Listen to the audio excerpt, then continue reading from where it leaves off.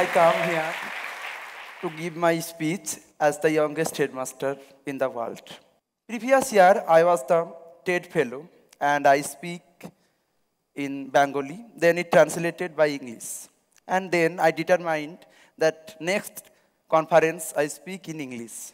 And nowadays I myself, nowadays I myself is a student of English honors of a nearby, of, of a nearby college.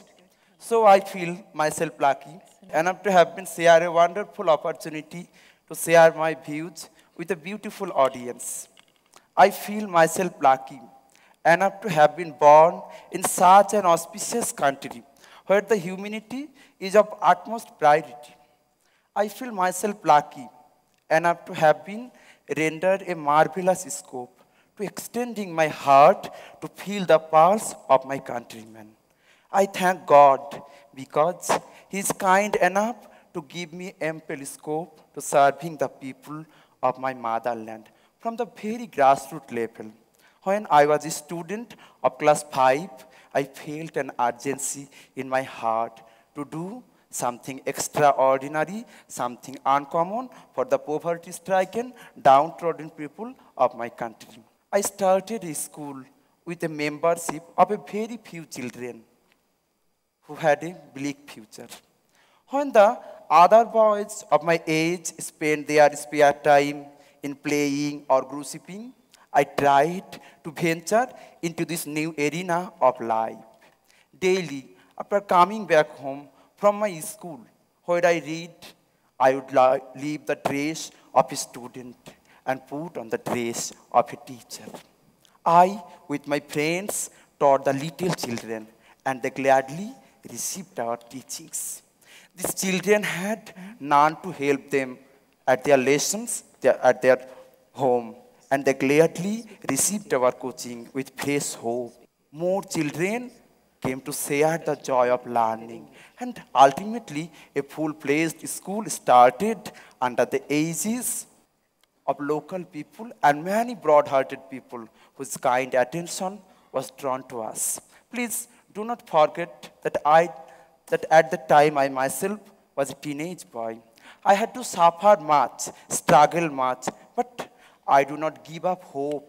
We hoped against hope and fought tooth and nail to combat all the adversities.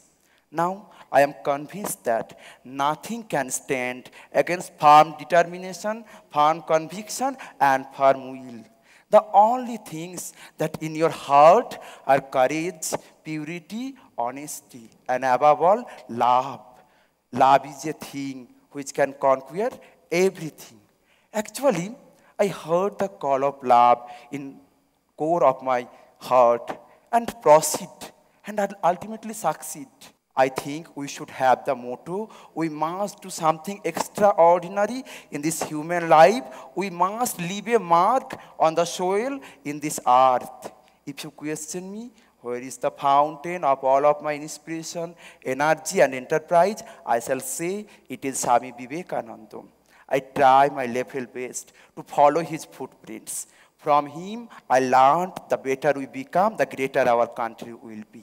Mahatma Gandhi addressing a gathering, said, I have at Belur Math in the birthday celebration of Swami Vivekananda in 1923, said, I have come here to give my homage and respect to the revered memory whose birthday is being celebrated today.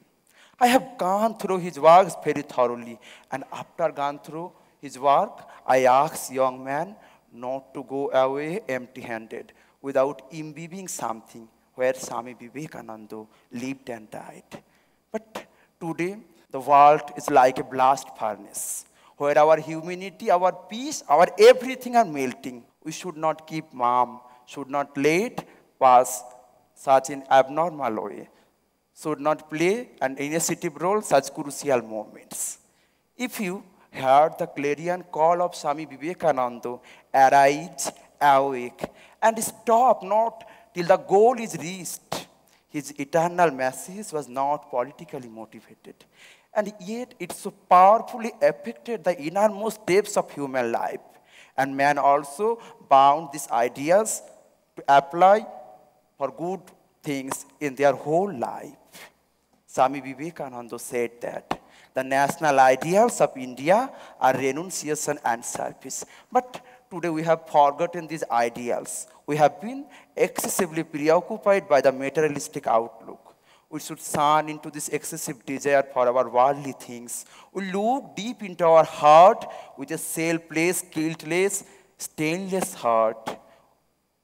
We should render our service who are still unfed, unclothed, and unsheltered, with muscles of iron and nerves. We shall conquer all the miseries of life. These two lines should be embossed on the tablet of our mind. Miles to go before I sleep, and miles to go before I sleep. However, education for all is my dream. To actualize my long cherished dream, please help me. Now, I present the audience a short video of our school for a one day activity. Please attend it.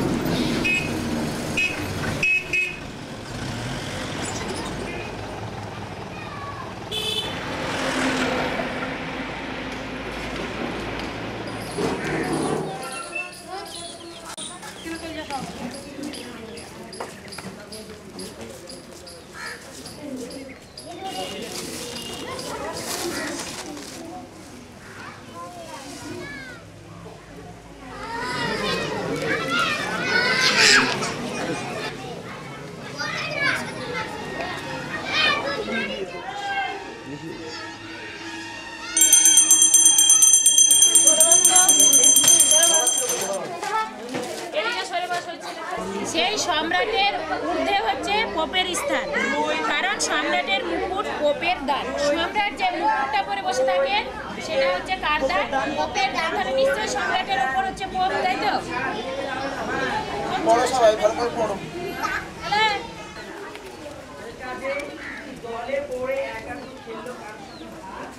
হ্যাঁ।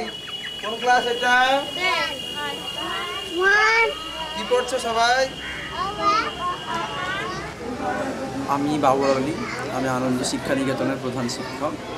আমি নিজে যখন পঞ্চম শ্রেণীতে পড়তাম, অর্থাৎ আমার বয়স ন বছর ছিল, তখন আমি আটজন ছাত্রছাত্রী, অর্থাৎ যে সমস্ত ছেলে মেয়েদেরকে দেখতাম, হয়তো কোনো দিন কোনো পড়াশোনার সঙ্গে যুক্ত নয়, বিভিন্ন রকম কাজের সঙ্গে যুক্ত আছে, অথচ আমি নিজে বিদ্যালয়ে যেতাম নিজে পড়াশোনা করতাম। তো স্কুল থেকে ফিরে এসে বিকেলবেলায় খেলার ছলে সেই সমস্ত ছাত্রছাত্রীদেরকে নিয়ে পড়ানো শুরু করি। সে কিছু কিছু করে বাঁচায়। যদি দশ টাকা দেয় তাহলে আট টাকা খরচ করে দু টাকা রেখে দেয়। দশ টাকা দিলে আট টাকা খরচ করে দু টাকা রেখে দেয়। এই দু টাকা করে বাঁচিয়ে বাঁচিয়ে সে কি করল? তো সেই দোকানের মধ্যেখানে আমার বাবা সময় সময় মাঝে মাঝে আমাকে মানে দোকানের মালপত্র আনতে বলতো। তো আমি এই রাস্তা দিয়ে যেতাম। তো রাস্তা দিয়ে যেতে যেতে হঠাৎ দেখি যে এখানে মানে কিছু ছাত্রকে নিয়ে বাবার পড়াশোনা করাচ্ছি। তো আমারও মনে কিছু আগ্রহ হলো যে আমি যদি এরকম জায়গায় থাকতে পেতাম বা পড়াতাম তাহলে আমারও মনটা একটু খুশি হতো। এখানে যেমন জানলাম যে বাচ্চাদের পড়ানো হয় ছোট ছোট বাচ্চাদের। আর ছোট্ট বাবর আলী তার কথাটা শুনে বেশি আগ্রহী এখানে আসার জন্য। দুপুর ধরো একটা হচ্ছে শক্তি।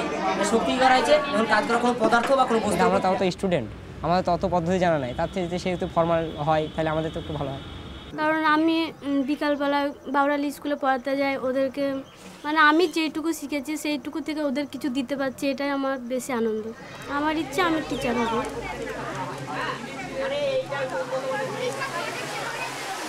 হ্যাঁ অসুবিধা তো হয়। যেমন আমাদের ছাদ নিয়েই লক্ষ্য করা যাচ্ছে শান্তিনিকেতনের পরিবেশ। তো আজকে দু হাজার আর এই দশ দশ সালে আজকে এই বিদ্যালয় অষ্টম শ্রেণীতে উন্নীত হয়েছে এবং এই বিদ্যালয়ে ছাত্রছাত্রী কয়েক শতাধিক। তো, এবং এই বিদ্যালয়টি আজকে দীর্ঘ আট বছর, প্রায় আট বছর ধরে বিভিন্ন রকম প্রতিকূলতার মধ্যে সংগ্রাম করে এটাকে মানে চালিয়ে যেতে হয়েছে। তোমরা এখানে এসে বসো এই যে এই- এই যে- ফাইন মানে নয় হাত মানে হ্যান্ড মানে হ্যান্ড মানে রোড মানে তো আমাদের একটাই লক্ষ্য ছিল যে এই বিদ্যালয় থেকে কেন্দ্র করে মানে সমাজে কিছু মানুষ যে শিক্ষার আলোটা প্রত্যেকের মধ্যে পৌঁছায় এইটাই আমাদের মূল মানে মন্ত্র ছিল এবং সকলের মধ্যে শিক্ষা এটা ছড়িয়ে দেওয়ার জন্যই আমরা এই বিদ্যালয়টা প্রতিষ্ঠা করেছি এবং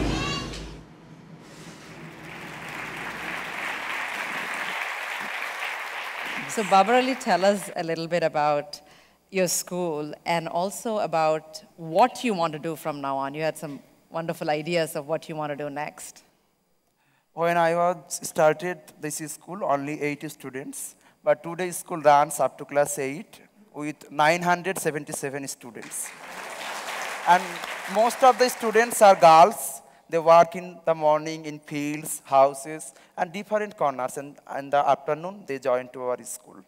My 80 students, when I started this school, they are this year they give the Madhyamik examination, and two girls also inspired by me. They also teach our school now. And after future, I want to expand my school, uh, high school, higher secondary school, and a college also. This is my dream for my school. And how many teachers do you have in your school? And nowadays, our school runs 10 teachers, two non-teaching staff. And uh, when do you do the office work, the teaching? When do you get involved in this? In the morning, I, I go to my college, and around 2 p.m. I come back my home, and from uh, and 2:30 p.m. Uh, 2:30 p.m. to 7 p.m. I teach the uh, students, and 7 p.m. to minimum 10 p.m. I work in the office work, and many days I work in the government officials, our capital of West Bengal, all, um, Calcutta, our uh, district capital, Barhampur. I also visit uh, many government office, many seminars for our school also. I think we all need to celebrate uh, Babar Ali for not the heights we climb, but the distance we travel. And I think he's a great example of what we can do if we put our mind to it. Thank you. Thank you. Thank you. Thank you. Thank you.